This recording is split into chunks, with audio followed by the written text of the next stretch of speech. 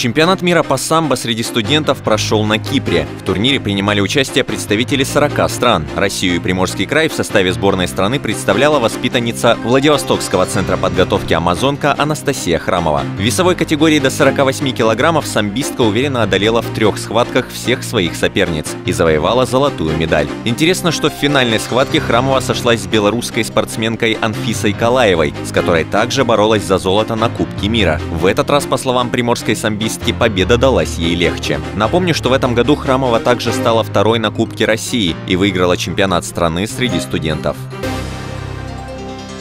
Нападающий адмирала дисквалифицирован на 5 матчей из-за нападения на судью. Спортивно-дисциплинарный комитет КХЛ принял решение оштрафовать и отстранить на следующие 5 игр Виктора Александрова. Напомню, еще 10 декабря адмирал встречался с Челябинским трактором. Буквально сразу же после старта игры произошел курьезный эпизод. Александров после борьбы с защитником хозяев упал на лед, затем встал и снова ринулся в атаку. Однако при этом сбил с ног рефери матча. Было это сделано умышленно или нет, игру моментально остановили и вынесли решение о 20-минутном штрафе приморскому хоккеисту. В итоге весь первый период «Адмирал» тогда проиграл в пятером, а по итогу и вовсе потерпел поражение со счетом 4-1. На данный момент моряки готовятся к домашнему матчу с Нижнекамским нефтехимиком, который пройдет 17 декабря.